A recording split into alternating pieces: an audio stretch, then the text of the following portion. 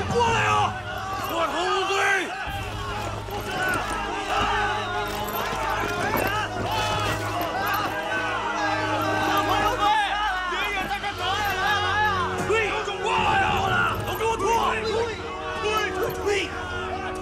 都给我！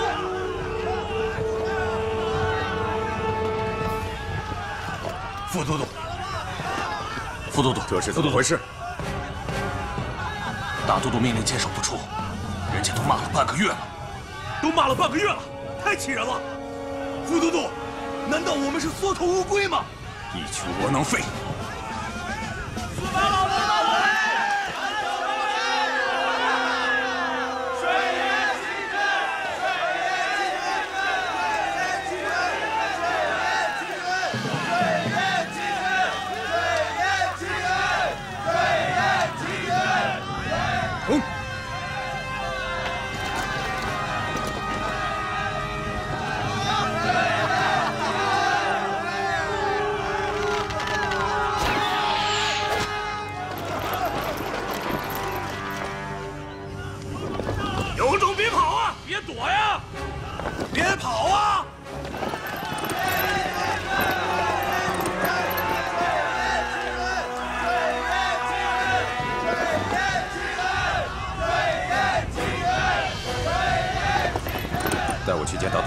将军，请。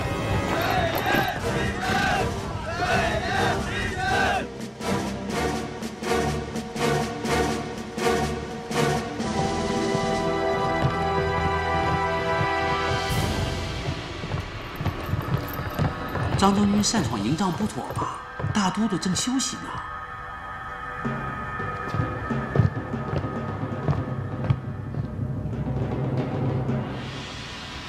大都督，大都督，大都督，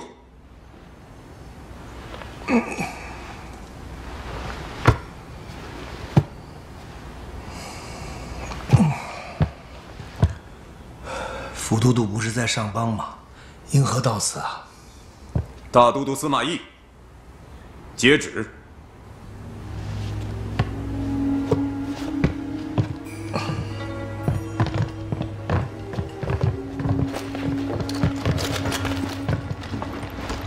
臣司马懿，听旨。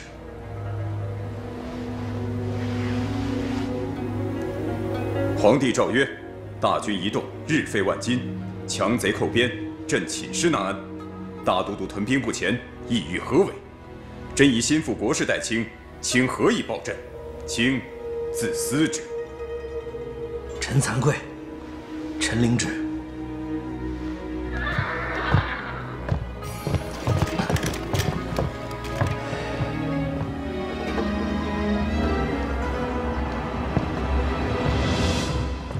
末将愿与蜀军再战，末将也愿再战许齿。末将也愿再战，一雪前耻。诸位将军，稍安勿躁，等候时机，请各自回营吧。是是。慢。大都督，什么时候时机才到？大都督是要等到诸葛亮自己老死吗？等蜀军粮草用尽了，诸葛亮也就退了。笑。诸葛亮刚刚得到了陇上的小麦，又听闻蜀军运粮方至，而大都督却坐在此地无所事事，静候蜀军做大。大都督，你究竟意欲何为？诸葛亮那点粮食，能吃多长时间？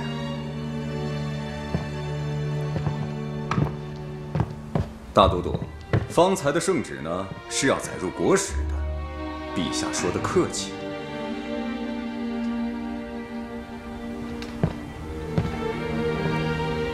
陛下还有一句不方便写入圣旨的话，让我问大都督。还有话呀？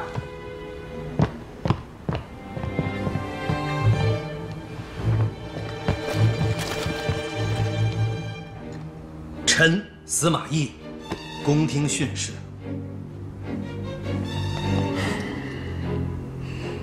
陛下问大都督，是否记得一人一秦一城之事？如果大都督不想坐在这个位子上，我大魏并非无人。臣司马懿领旨。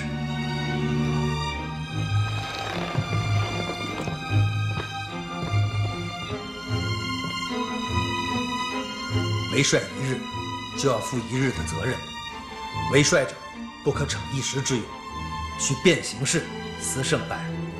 还请副都督上达。那大都督自己跟陛下交代了，我自会和陛下解释。诸位将军，在陛下易帅之前，各军据险以守，再有敢言战者，斩！是，是，是是。还有事吗？末将告退。